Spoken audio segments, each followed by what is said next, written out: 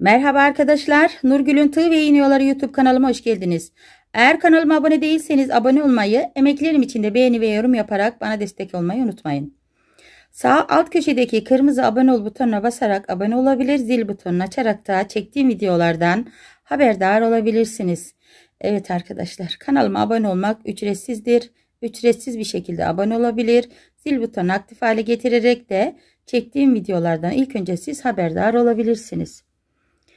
Evet şimdi size yine arkadaşlar bir havlu kenarı mevlüt örtüsü büyük bir model tarif edeceğim. Modelim de şu şekilde. Evet arkadaşlar modelimiz bu şekilde. Modelimiz gördüğünüz gibi bayağı büyük irice bir model. Bu modeli sizler için tığa çevirdim. Bu modelden arkadaşlar 4-5 tane böyle siyahı kırmızısı böyle bunun gibi kahverengi sarısı da bir sürü 2-3-5 tane geldi yani. Onları artık mecbur kaldık yoğun istek üzerine tığa çevirmeye. Şu şekilde sizler için tığa çevirdim. Evet. Benim tığa çevirdiğim hali de bu şekilde oldu bakın arkadaşlar. Şöyle birebir aynısını sizler için tasarladım. Yaprağından bu çiçeğimizin yaprağına varana kadar şöyle çoktan aza doğru incelterek sizler için en iyisini tasarlamaya çalıştım arkadaşlar. Birebir aynısını ve hatta en kolayını. Bu şekilde sizler için tasarladım. Bunu büyük gören arkadaşlar bunu mevlit örtüsü olarak veyahut da havlu kenarı olarak kullanılacak. Bu küçük e, yazmalar için sevenler oluyor arkadaşlar. Şimdi onlar için de bir şey diyemem. Bakın şu şekilde böyle sallantılı seven arkadaşlarım da yapabilir. Genelde bizim burada arkadaşlar bazı yöreler Haymana, Bala tarafı seviyor böyle iri sallantılı modelini. Ee, bizler pek hani minik şeylere alıştığımız için bize büyük gelebilir yani bizler için ama tabi bizlerden de sevenler vardır. Şimdi herkesi kayıt altına almayalım. Yani istisnalar var. Çoğunluk sevmese de büyük e, kare tülbentlere, küçük tülbentlere büyük modeller sevenlerimiz de var. Evet arkadaşlar bu şekilde modelim ve şimdi modelimizin anlatım kısmına geçelim. Şöyle ayırıp şöyle ikisini de kullanabilirsiniz.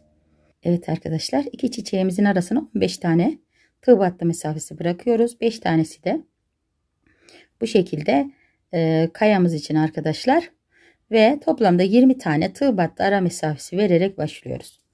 Tığ battığımızı şu şekilde yapıyorum arkadaşlar. Bakın tığ battım irice biraz. Üçer zincirden iri atılarak çekilmiş bir tığ battı. Tığ battımın içine sık iğne ile sabitledim ve 4 tane zincir çekiyorum. 4 zincirimi çektiğim ben tığ battıları biliyorsunuz arkadaşlar sahte sık iğne ile yapıyorum. Sahte sık iğneyi de biliyorsunuz bu şekilde tığımda olan ilmeği içinden geçirerek üzerine bir zincir çekiyorum. Mesafemizi verdik. Şimdi arkadaşlar bakın. Şimdi örnek amaçlı olduğu için biraz da ben yakın yapıyorum. Tığ battımızın içine sık iğne ile şu bir zincirimizi sabitledik. Tığ battı mesafesine çıktık. 3 ve 4 zincir. 4 zincirimi çektim. Ve buraya sık iğne ile sabitledim. Şimdi arkadaşlar bir de şu var.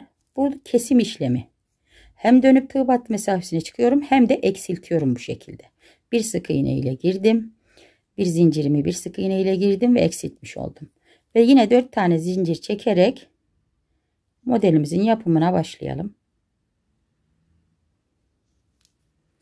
1 2 3 4 zincir. Zincirlerimi gayet sıkı çekmeye çalışıyorum. Çünkü arkadaşlar sıkı çekildiği zaman kalıp gibi bir gözümüz oluyor, modelimiz oluyor. 4 zincirimi çektim. Sık iğne ile sabitledim. 2 3 4 zincir. Ve buraya dördüncü. Alttakinin beşincisi. Üstte dört oldu bakın arkadaşlar. Şu köşeyi kestik. Kayamız dört oldu. Bir zincirimizle dönüyoruz. Yine kesim işlemi yapıyorum bakın. Bir zincirimi buraya tığ battımın içine sahte sık iğne ile kapatıp bakın üzerine bir zincir. Ve dört tane zincirimi çektim. Hemen yandaki tığ battıya girip buraya bu şekilde sabitledim Yine 4 zincirimi çekiyorum. Hemen tığ battımın içine girip buraya sahte sık iğne ile kapattım. 3 ve 4 zincir. Yuvaya girdim. Kapattım. Bakın 5 ile başladık. 4 3. Yine bir zincirimizi çektik ve buraya kesim işlemi uyguluyorum. Bir zincirimi sık iğne ile buraya sabitlemek. Burada bir tane yuva eksiltmek demek. Yine 4 zincir. Sıradakine kapatıyorum. 1 2 3 ve 4 zincir. Yine kapattım. 2'ye düşürdük. Bir zincirle düz yüzüne dönüyorum arkadaşlar bu şekilde. Ve sık iğne ile sabitliyorum. 4 zincir.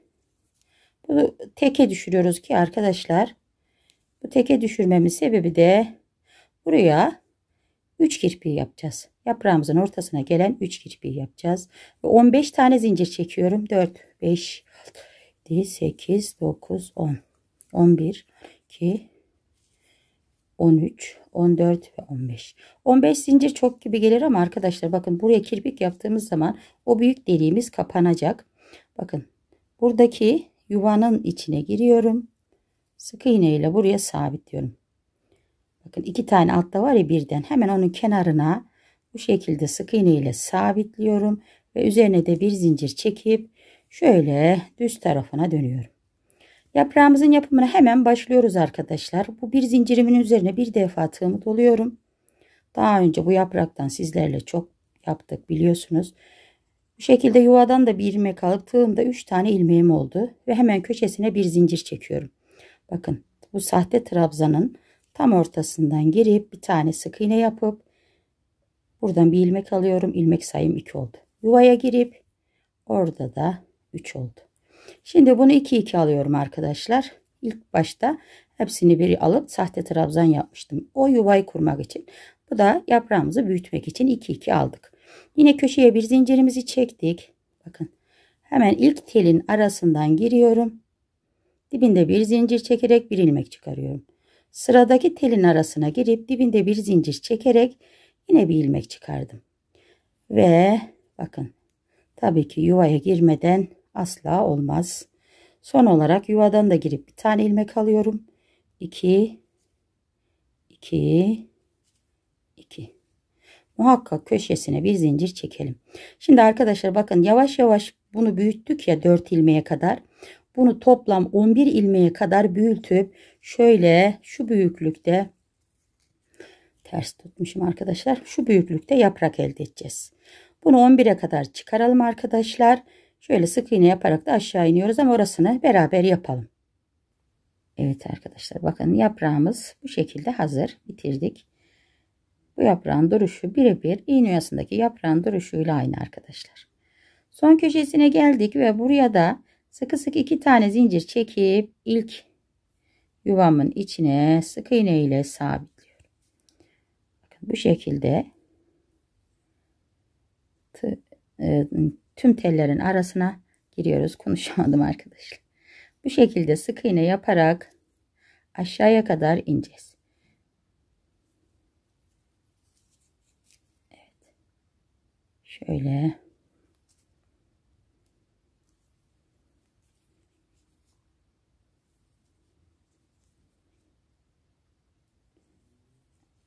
büyükçe bir yaprağımız oldu. Sonucu yuvamıza da giriyorum. Bakın arkadaşlar şöyle kenarından güzel bir bu şekilde sık iğne yaparak aşağıya Bir zinciri çekiyorum. Şöyle minik bir trabzan yapacağız arkadaşlar. Bir defa doladım ve 2 2 olarak aldım. Şöyle iki tane zincir çekiyorum. Alt geniş olduğu için tek çektim. Diğerlerini iki çekeceğiz. Bir defa doluyorum ve bakın arkadaşlar. Buradaki yani yaptığımız minik trabzanı aralayıp 2 2 bu şekilde üzerine bir trabzan daha. İki zincirimi çektim. Bir defa doladım. Hemen bakın aralıyorum. 2 2 Yine iki zincirimi çektim. Bir defa tığımı doladım. Bakın üçüncü trabzanımın da arasına 2 2 alarak Bu şekilde bakın minik minik 4 tane trabzan yaptım. Buraya 6 tane zincir çekiyorum. Şöyle 5 de olur arkadaşlar. Eliniz gevşekse veya 5 de yeterli. Evet. Şimdi yine 2 2 zincir çekerek arkadaşlar trabzanların içine girerek bakın. Aynı sık iğnenin yanına şöyle iniş sık iğnesi de yapıyorum. Ve bu şekilde aşağıya kadar ineceğiz.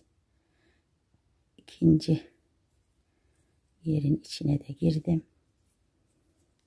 Yine iki zincir. Bakın şu şekilde 4 trabzandan oluşan bir yuvamız oldu.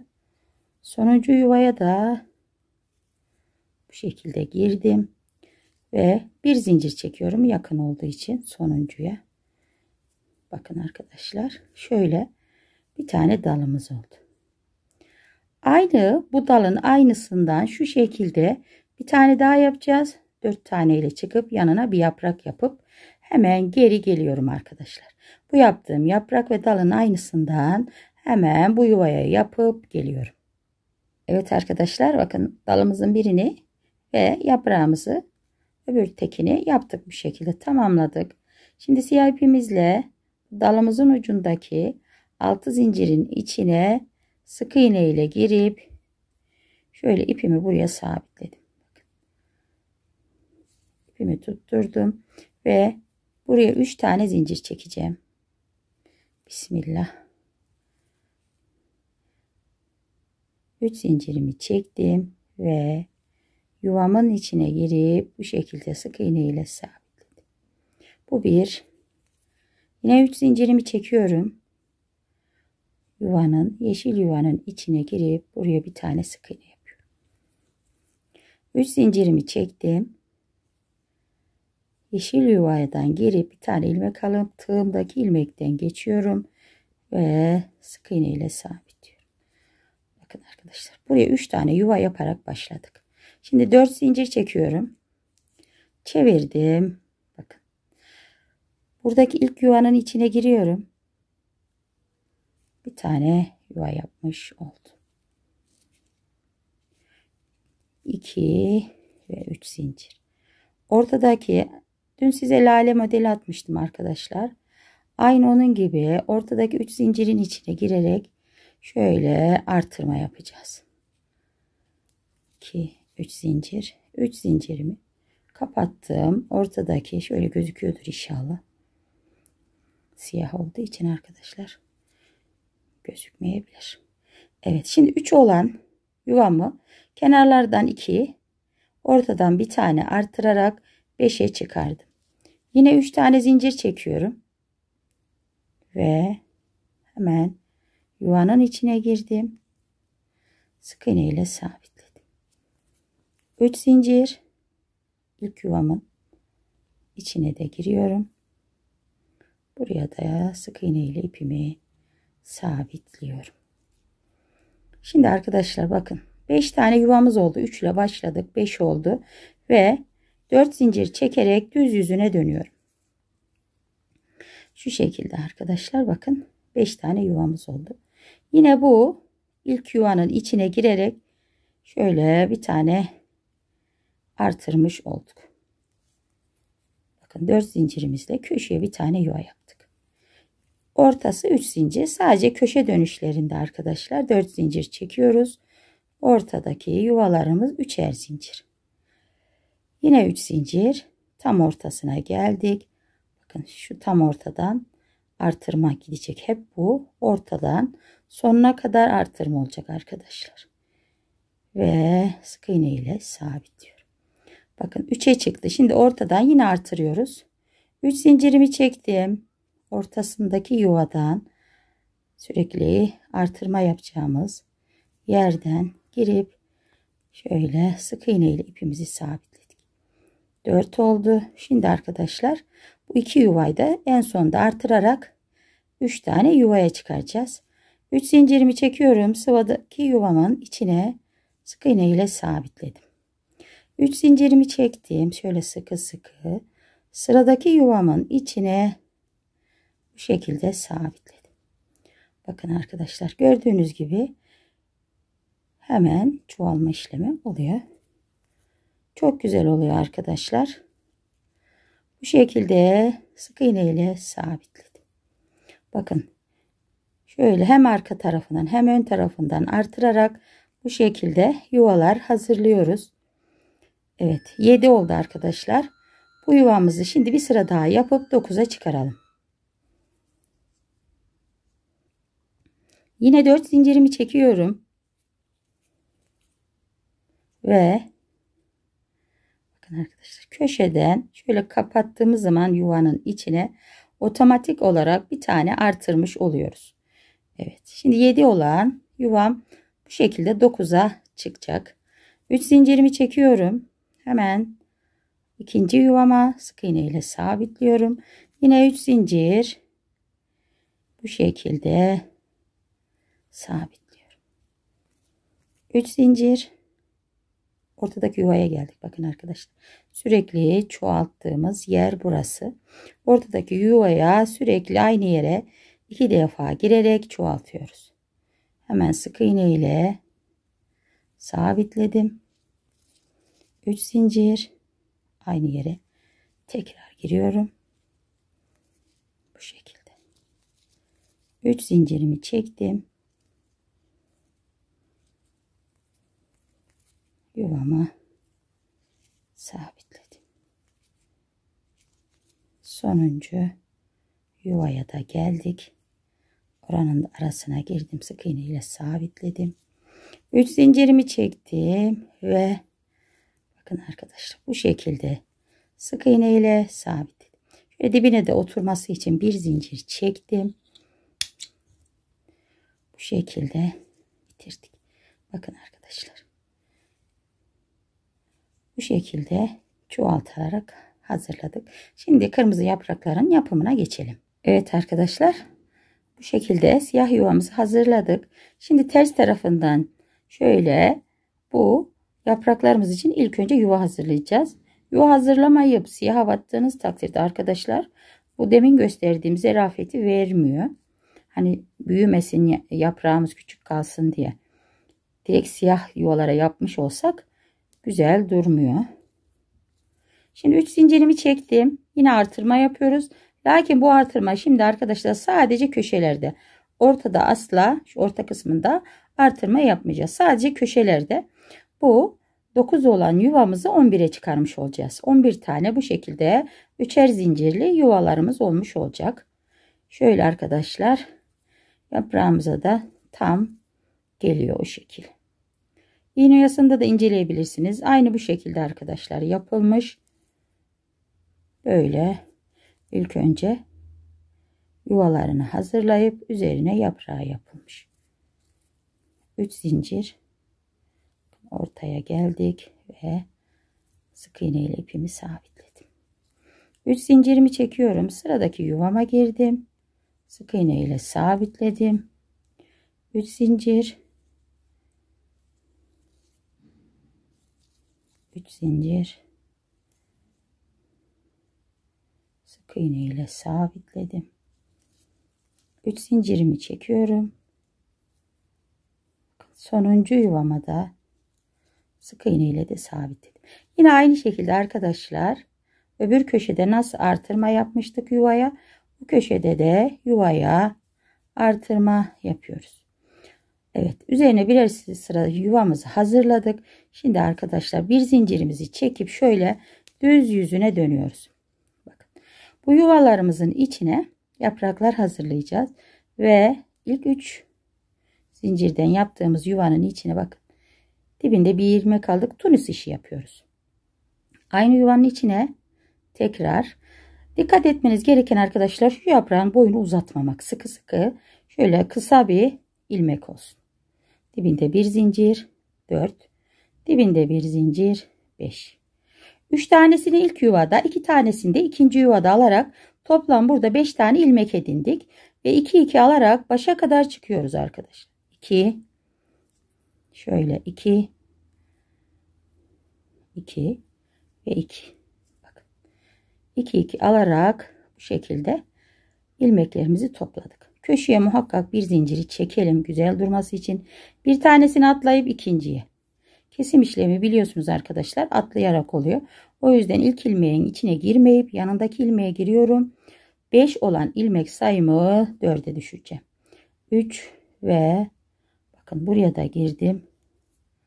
Bu şekilde. 4 tane ilmeğimiz oldu. 2 şöyle 2 ve 2 İkinci sıramızı da bu şekilde hazırladık. Yine köşeye bir zincirimi çekiyorum. Ve telin arasına girdim. Dibinde bir zincir çektim. Şöyle telin arasına girdim. Dibinde bir zincir çektim. İlmek sayım 2 oldu. 2 2 olarak aldım. Şöyle dibinde bir zincir çekiyorum. Hemen bakın dibindekinden geçip buraya ikinci ilmeğin arasından girip bir tane ilmek alıyorum. Evet bakın arkadaşlar. Bu şekilde yaprağımız hazır. 5 taneden sıfıra kadar düştük. 1'e kadar düştük. Ve buraya 11 tane zincir çekiyorum. 3, 4, 6, 7, 8, 9, 10 ve 11. 11 bakın buradaki ikinci yuvanın içine giriyorum. Zincirimi bu şekilde buraya sık iğne ile sabitliyorum. Şöyle dibine de bir tane zincir çekelim arkadaşlar. Yaprağımız hazır. Bakın çok da güzel durdu. Şimdi arkadaşlar bu yuvaları da aynı şekilde yapacağız. Bir tane daha yapalım. Şöyle arkadaşlar hemen yandaki yuvaya girip dibinde bir zincir çekip şöyle sıkı sıkı. Bütün işini ne kadar sıkı minik ilmek alırsak o kadar güzel böyle kalıp gibi yaprağımız oluyor arkadaşlar. Modelimiz büyük olduğu için sert durması da önemli. Bu oya da biraz dikkat edelim bu şekilde. Dibinde bir zincir 4 oldu. Dibinde bir zincir 5 oldu. Evet. 3 tanesi birinci yuvadan 2 tanesi de diğer yuvadan 5 tane ilmek topladık. Zincirimizi de bu ikinci yuvaya kapattığımız için aslında üçer ilmek olmuş oluyor her yuva için arkadaşlar. Bu şekilde tasarladım sizler için. 2 2 2 2 Evet bakın arkadaşlar bu şekilde ilmeklerimizi aldık. Şimdi bir zincirimi çektim dibine. İkinci sıra için bir ilmek bırakıp ikinci ilmeğin içine giriyorum. Bu önemli arkadaşlar. Yoksa eksiltemezsiniz sayınızı. Onu atlayın. İlkini atlayın. ikincinin içine girin. 3. Şöyle sonuncunun da içine girip bir de oradan alıyoruz. Tığımda 4 tane ilmek var. 2 2 ve 2. Bakın bu şekilde ilmeklerimizi topladık. Şöyle bir zincirimi çektim. Yuvaya girdim. Dibinde bir zincir 2. Dibinde bir zincir 3. 3 ilmeği şimdi 2 2 alarak kestim. Bir zinciri çekiyorum şöyle hemen kenarına. Bakın arkadaşlar buraya ortadakini bırakıp yanındakini bırakıp ikinci ilmeğimden ilmek çıkardım ve bu şekilde bitirdim. Bakın ikinci yaprağım da bitti. Biter bitmez hemen 11 zincirimi çekiyorum. 6 7 7 7 8 9 10 ve 11.